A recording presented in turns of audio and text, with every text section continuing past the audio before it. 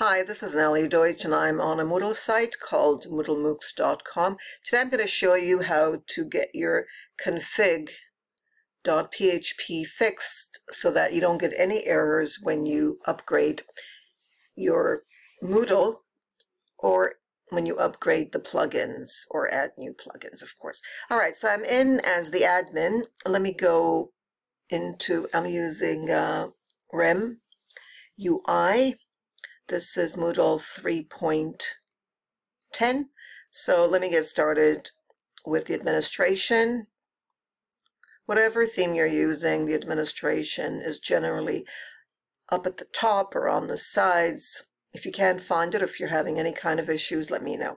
You can always use the search box to look for it. Find the admin. All right, so let's go into plugins so I can show you what the problem is there could be two problems. Generally, uh, you can still upgrade, but you still get these errors. So I'm going to go into install plugins, go into, there we go, moodle.org to get a plugin. See if I've added this already. Try this one, see if I have it. Just want to show you how it's done.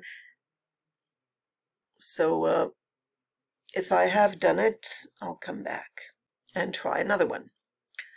Okay, so uh, you can list your Moodle sites so that it's really easy to add plugins, as you can see, and it is installed. So let me get another one.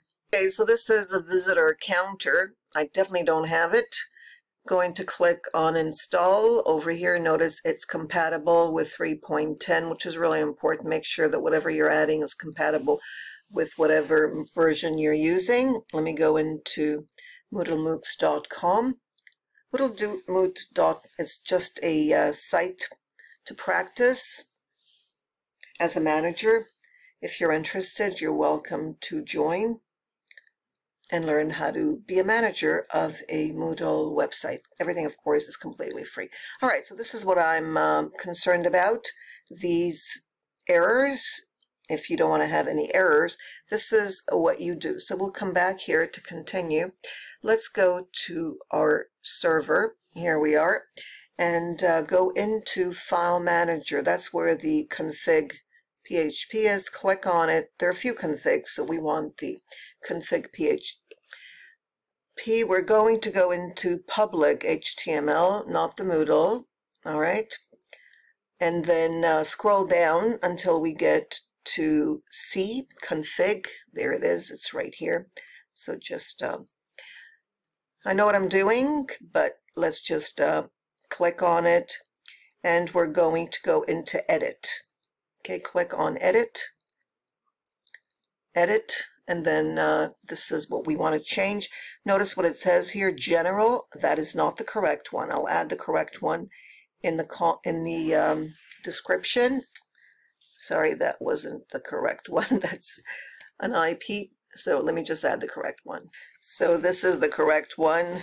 Notice, all right. And next I'm going to save changes or else nothing's going to change. All right, save changes. All right, success. Okay, so now I'm going to go back to the site, going to refresh it. Okay, so that should take effect right away. And notice I only have one left which means that I have to take care of this one, and I will. I'll show you how I do that next time, all right, because that's not in the config, it's somewhere else. Go on with continue, and I'm good to go. Stay tuned for the next video if you get this error message, how to get rid of this one. So stay tuned.